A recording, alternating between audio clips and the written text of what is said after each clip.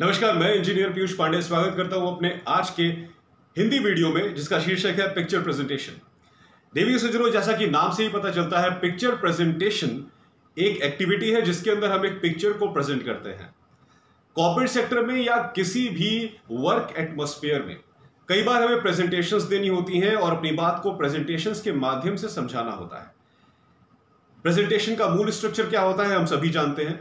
Presentations के दौरान कई बार हमें ग्राफिकल फॉर्म में भी किसी चीज़ को प्रेजेंट करना पड़ता है। किसी पिक्चर की फॉर्म में हमें किसी चीज़ को प्रेजेंट करना पड़ता है। उसे कहते हैं picture presentation picture presentation crucial इसलिए है क्योंकि जब आप कोई चीज़ किसी व्यक्ति को पिक्चर के माध्यम से समझाते हैं तो वो चीज़ उस व्यक्ति को बेहतर वे में समझ में आती है। पिक्चर्स और ग्राफिक्स का हमारे ऊपर बहुत बड़ा योगदान होता है। अगर हम प्रॉपरली किसी पिक्चर को एक्सप्लेन कर सकते हैं अपने सीनियर एग्जीक्यूटिव्स को, अपने ऑफिशियल एटमोस्फियर में। तो शायद हमारी बात उस पिक्चर के माध्यम से हमारे एग्जीक्यूटिव्स को, हमारे सीनियर्स को, हमारे एसोसिएट्स को बेहतर वे में समझ में आ जाए, बजाय इसके कि हम बिना पिक्चर दिखाए सिर्फ़ शब्दों में बात करें। मैं ये नहीं कहता कि शब्दों में बात करने से अंडरस्टैंडिंग क्लियर नहीं होती, लेकिन शब्दों में बात करने के साथ साथ यदि आप कही हुई बात से रिलेटेड कोई पिक्चर दिखा देते हैं तो शायद आपकी बात और बेहतर वे में क्लियर हो जाती है, क्योंकि ऑडियंस को उसका एक लाइव डिमोन्स्ट्रेशन मिल जाता है। इसलिए पिक्चर प्रेजेंटेशन एक बहुत ही क्रूशियल एक्टिविटी है, जिसे हमें समझना चाहिए। पिक्चर प्रेजेंटेशन का मूल स्वरूप यह होता है कि आप जो भी पिक्चर देख रहे हैं, उसे आप एज इट इज़ एक्सप्लेन करें। उस पिक्चर में आपको जो भी नज़र आ रहा है, जो भी दिखाई दे रहा है, बिल्कुल वही चीज़ एक्सप्लेन करें, क्योंकि पिक्चर प्रेजेंटेशन का बेसिक पॉइंट ये होता है कि दी हुई पिक्चर को एक्सप्लेन करना। अब, दी हुई पिक्चर को एक्सप्लेन करते वक्त यह भी ध्यान देना है कि हमें उस एक्सप्लेनेशन में एक फ्लेवर डालना होता है। वो फ्लेवर क्या है कि अगर हम अपनी एक्सप्लेनेशन को स्ट्रेट फॉरवर्ड वे में विदाउट फीलिंग कह देंगे तो शायद ऑडियंस के ऊपर उतना इंपैक्ट नहीं आएगा। लेकिन उसी पिक्चर को अगर हम फीलिंग के साथ बताएँगे इमोशन के साथ बताएँगे तो हमारी पिक्चर प्रेजेंटेशन ऑडियंस को ज़्यादा प्रभावित कर पाएगी। इसलिए इन दोनों बातों में डिफ्रेंशिएट करना भी बहुत ज़रूरी है और दोनों को मिलाना भी बहुत ज़रूरी है। डिफ्रेंशिएट इस वे में करिए कि पिक्चर के अंदर जो भी दिया गया है एज इट इज़ वही एक्सप्लेन कीजिए। पिक्चर में दी गई बात से हटके कुछ अननेसेसरी एक्सप्लेन ना करें। पिक्चर में दी गई चीज़ को लेकर कुछ एक्स्ट्रा अननेसेसरी एक्सप्लेन ना करें। जो पिक्चर में दिया गया है, वही एक्सप्लेन करें। पहली बात ये। दूसरी बात यह कि आप अपने वॉइस मॉड्यूलेशन के माध्यम से, अपने आर्टिकुलेशन के माध्यम से उस पिक्चर को प्रेजेंट करते वक्त उसके अंदर और स्वीट एलिमेंट्स डाल सकते हैं।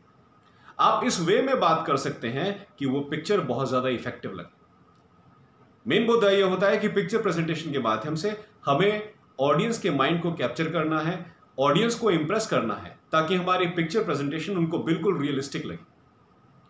मैं आपको एक एग्ज़ाम्पल के माध्यम से करके बताता हूँ।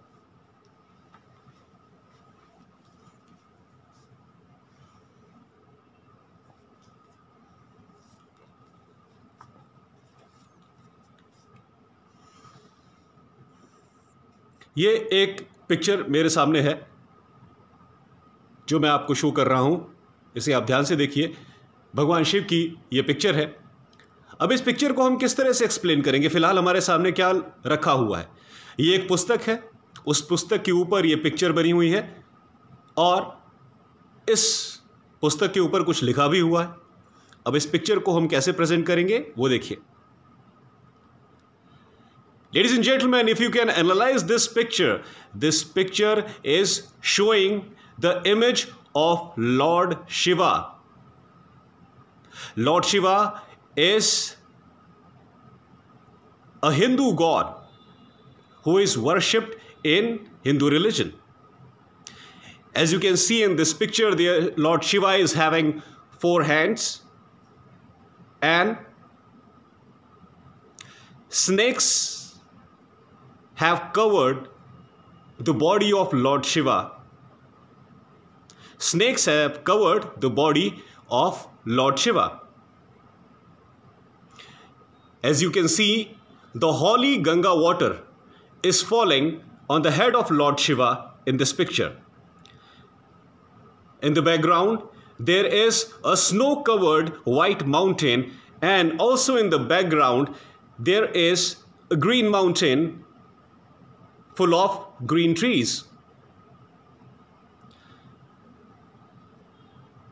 If you go down and see the bottom of this book, something is mentioned in written form. What is this? It is Gita Press Gorakhpur. Now, this inscription is indicating that this book has been published by Gita Press Gorakhpur. This is the symbol of Gita Press Gorakhpur, which is a publishing firm in Gorakhpur. And if you see at the right side of this picture, the name of the publishing house is also mentioned Gita Press Gorakhpur.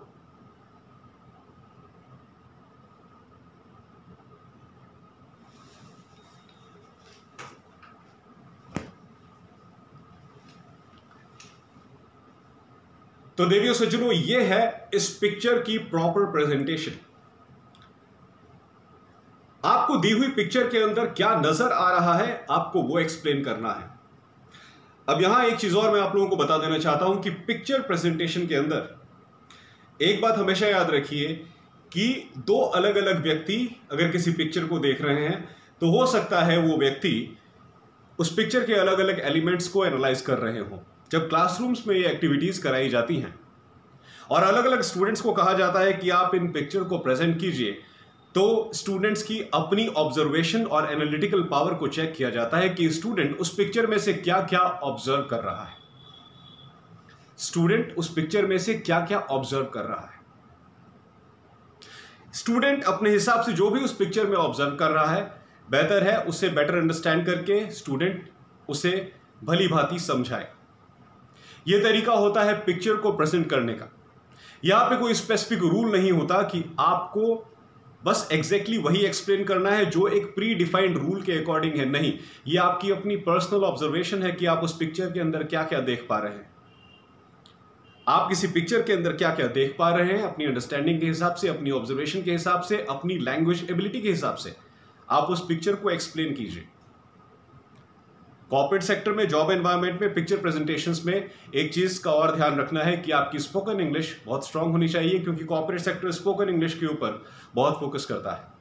Picture presentation देने की situation या किसी भी presentation को देने की situation job related ही आती है टास्क रिलेटेड ही आती है। और इसके लिए इंग्लिश में फ्लुएंट होना बहुत ज़्यादा ज़रूरी है। इसलिए पिक्चर प्रेजेंटेशन को भी परफेक्टली कैप्चर करने के लिए इंग्लिश के ऊपर कमांड होनी ज़रूरी है और इसके लिए आपको अपने पर्सनल लेवल पे काम करना होगा। डेविड सुजनो पिक्चर प्रेजेंटेशन एक ऐसी एक्टिविटी है ऑर्गेनाइजेशन में जो आपकी सक्सेस को एनहांस कर सकती है। आप किसी चीज़ को कितना सिस्टमैटिकली एक्सप्लेन कर सकते हैं, इसी के ऊपर डिपेंड करता है कि आप अपने हायर एग्जीक्यूटिव्स अपने सीनियर्स के सामने अपनी बात को कितना परफेक्टली रख सकते हैं। अगर लाइफ में प्रेजेंटेशन देने के मौके मिलते रहते हैं तो यकीन मानिए आपकी सक्सेस बढ़ रही है और आने वाले चांसेस आने वाले समय में आपकी डेजिग्नेशन और सैलरी भी बहुत तेज़ी के साथ बढ़ेगी। इसलिए इस एक्टिविटी के ऊपर कॉन्सेंट्रेट करना बहुत ज़्यादा ज़रूरी है। तो देवी और सज्जनों, आज के लिए बस इतना ही। आशा करता हूँ मेरा वीडियो आपको पसंद आया होगा। प्लीज़ सब्सक्राइब करिए मेरे चैनल को ई आर पीयूष पांडेटविन और बीटेक एमबीए और बेल आइकन को प्रेस करिए ताकि मेरी हर नई वीडियो की जानकारी आपको हमेशा मिलती रहे। बहुत बहुत धन्यवाद।